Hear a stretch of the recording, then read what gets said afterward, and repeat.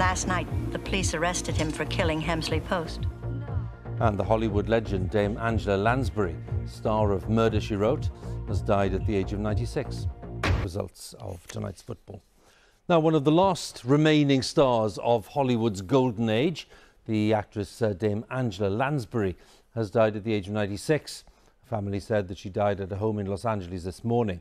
She was best known for starring as the detective in Murder, She Wrote, but also had a presence on stage uh, and uh, in theatre and in film, of course. Sarah Campbell looks back at her life. Suppose the master comes back and asks where you've gone.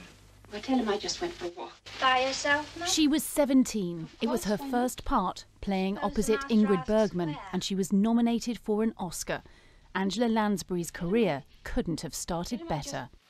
In due course, there were starring roles in Hollywood and on television. You are to shoot the presidential nominee through the head. In The Manchurian Candidate, she played the monstrous mother of a brainwashed son. Increasingly, it was character parts like this that she was offered.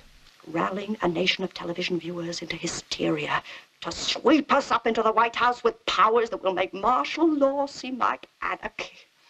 In the story, you call In her Joe. 60s, she reinvented herself as a television actress, above all as the genteel detective Jessica Fletcher in Murder, She Wrote. Apparently, you haven't heard. Last night, the police arrested him for killing Hemsley Post. She produced the shows as well as starring and became, they said, the richest woman in Hollywood with a fortune estimated at $70 million. Pedigree, apogee, pedigree! Her films for children showed her gift for comedy. Bother. I do hate shoddy work. There was Bedknobs and Broomsticks, and later Nanny McPhee. I smell damp.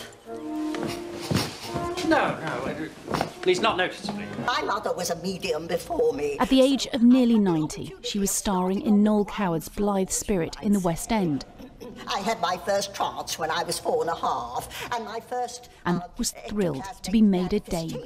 Manifestation when- It's a lovely thing to be recognised and uh, given that nod of approval by your own country, and I really cherish it. A character actress as comfortable on stage as she was on screen. Over many decades, Angela Lansbury was one of Britain's most versatile and successful performers.